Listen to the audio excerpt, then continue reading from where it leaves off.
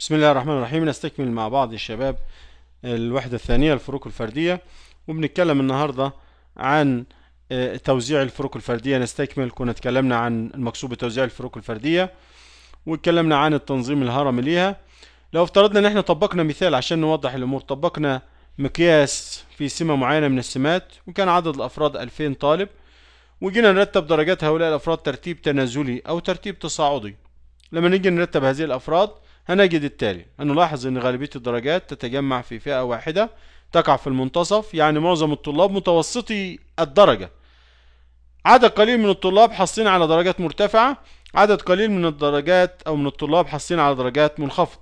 هنلاقيه يمثل الشكل التالي اللي هو شكل عبارة عن منحنى جرسي.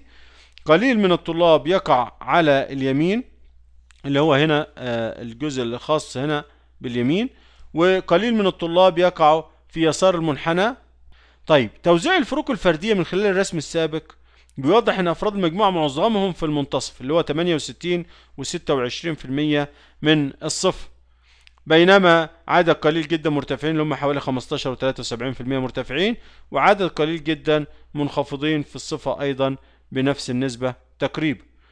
إذا نظرنا إلى الرسم أيضا سنجد إن الأفراد يتوزعوا طبقا لمبدأ الفروق الفردية.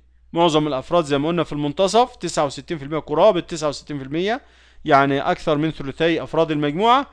عدد قليل جدا مرتفعي الصفة اللي هم يمثلوا تقريبا 16% وعدد قليل جدا منخفضي الصفة وده ما يطلق عليه التوزيع الاعتدالي للفروق الفردية نشكركم ونلتقي إن شاء الله المحاضرة القادمة.